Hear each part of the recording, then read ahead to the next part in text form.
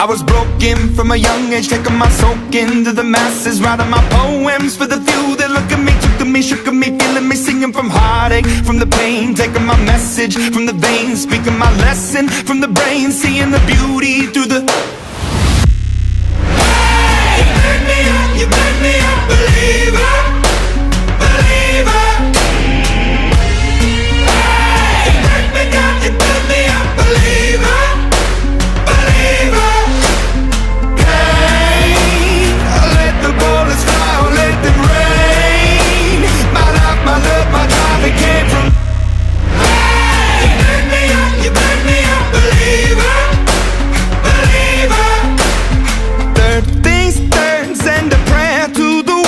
up above. All the hate that you've heard has turned your spirit to a